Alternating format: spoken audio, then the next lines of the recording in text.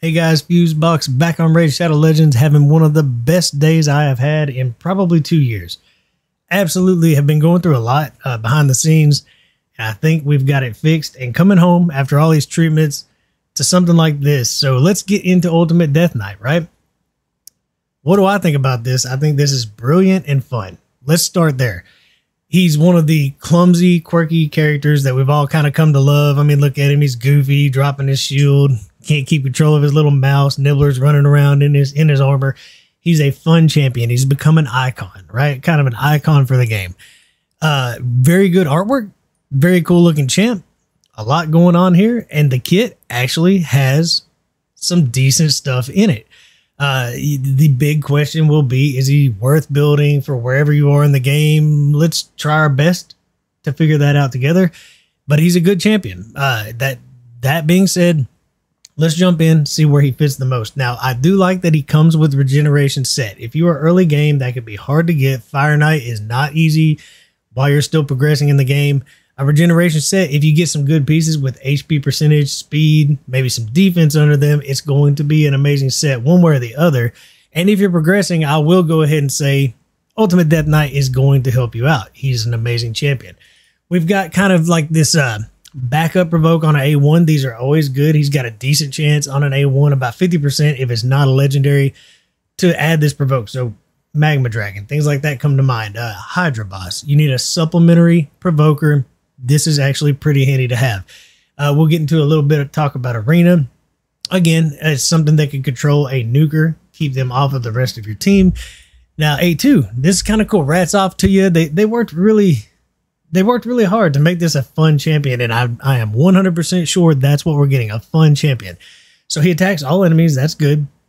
He has a guaranteed chance to decrease attack. Now, that is actually amazingly solid for anywhere you are progressing in this game or slotting him in as your decrease attack champion, whether you've already progressed or not. That's a good move. It also has a 100% chance to fear legendary champions. If you've got the gear, you could make some pretty fun teams on arena with this guy, and if you you're kind of progressing, he's going to be amazing for you in arena because you're kind of trying to hold your own. A lot of people are in gold five that as things settle down in arena are going to find out maybe that's not their place. But a champion like this could actually bolster their defense up, keep them in their in their ranking so that they're still earning gold four, gold five rewards, trying to get their Great Hall up. So we'll kind of go a little further into this, but I do like the synergy against legendaries because Doom Tower waves are full of legendary heroes. Being able to control them as well as decrease the entire enemy team's attack is going to be solid. But then you come to a move that you can't argue against. A three turn shield with a continuous heal. Yes, please. It's based on defense, which means you have control over how big this shield will be. All you need is a shield that's big enough with a continuous heal, and your team's going to stay alive. This is just simply hard to argue against as as in any other shield champion. A shield is a good ability. A continuous heal is also a good ability.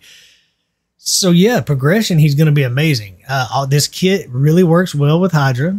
All right, I'm probably not going to break any new teams if you've already done well on Hydra, but if you're Still trying to build three good teams for Hydra. He could definitely slot into them because these passives actually are very interesting. This is cool. Too awesome to die. You can't come up with a better name than this. But this is pretty solid. All right, so whenever an ally gets attacked, he has a 100% chance, unless it's a boss, of they will take zero damage and he'll take that damage instead. So it is basically, sorry, still on call. Basically, he's going to it's like the ultimate guardian set and already having some of those masteries like selfless defender built into his kit. He's going to protect somebody, take the damage for him. Look at his let's look at his stats. While we're talking about it, somebody that wants to protect your team. He's got 1400 defense, 20k HP. This guy can be built tanky and protect the team. Now against bosses, the same thing, only it's a 50% chance of doing it which is actually pretty solid and it does not work on AoE abilities. This is basically you take him into, let's say again, that you're still building your arena teams for 3v3. You go in there and uh, you're dealing with a Rotos, you're dealing with a Mountain King who's going to one shot your nuker or your reviver. Well, he just, nope, Death Knight's going to take that hit. He's going to take that hit and he actually has the stats to take it. So when you're thinking about all this, well, let's go a little further. It increases his HP, his defense, and his speed by 10% for each dead ally. Now, there could be, with really good gear, some interesting synergies on trying to make this guy solo some stuff. He's not really a solo artist. Uh, but this will come into play uh, for progression. This will come into play if you can keep your reviver alive, which he will help do through his other passive. He can really ramp up everything that he's doing to protect your team until you get those dead allies back up and running. So this is going to be great for progression. This is a huge defensive aura for all battles. It's going to come in handy if you're progressing. And then back to if you're not progressing, you could make a really fun. I don't know if you're like me in arena, you get up right around platinum and you throw in these silly defenses. They're they're beatable, but they're just kind of nasty, you know, like uh trying to control control your your win loss ratio. And you just throw in some of these uh I guess it'd be easier just go to a battle log and look like like this. The I think I call this squid games. You know, I've got some just nasty, tanky teams. They can be beaten, but they can also wear down teams just like this and beat them. And he could actually become a very fun defensive unit for some of these teams. And in some cases, if you're still pushing through the game, he could become your defensive unit on your defensive team. Uh, I, I have a feeling that Arena will start to level back out into normalcy. And when that happens, people are going to find they may be up a little higher than where they really should be. And, and heroes like him could help keep you in that zone because we do want everybody farming, getting their uh, their gold bars and getting their Great Hall points so they can get this up. So that's definitely where he's going to be useful. If you're climbing, he's going to be useful. If you're already at the top, he's going to be absolutely fun. But all in all, my take on him is it is a brilliant PR move. He's a fun champion. He's quirky. He's kind of iconic to the game. Honestly, I just think there's no reason to complain. Everyone's going to get a regeneration set. What would I gear this guy in? If you're going to need him or use him in PvP, then you're probably looking at a bolster set or a stone skin set because he's going to protect that team so well. And if you have the team to get the job done in a couple of rounds, a stone skin set will absolutely get you through those couple of rounds. If not, then a bolster set is going to do the same thing, protect you for a few rounds while he's protecting your team, and then heal him afterwards.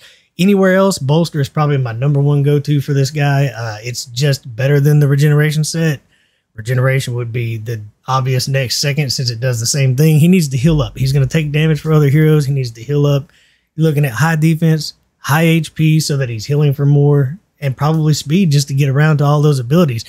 I would probably get him around 230, 250 accuracy if possible because he does have some pretty neat. The fears are pretty handy.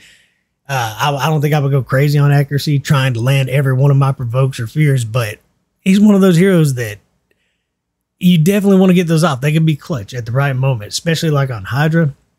Making sure you got just enough accuracy to land that provoke every now and then could be the perfect supplement to the team you're already using. But in the end, I think it's just a brilliant champion, a fun champion to have. Whether you want to build him out right now, take him to 550 just so you can play with him, whatever it is you want to do, let me know what you think about him. He's not going to change the game. I, I, in my opinion, he won't change the game for anybody unless you're progressing. Pretty amazing champion, but I think it's a brilliant move to give us something fun to play with. And because he looks fun to play with, we will play with him and we just might find out that there are some amazing things he could do. So let me know your thoughts. Uh, I bet I could talk you into getting him. He's free. I've got to get this. Until next time, enjoy the grind.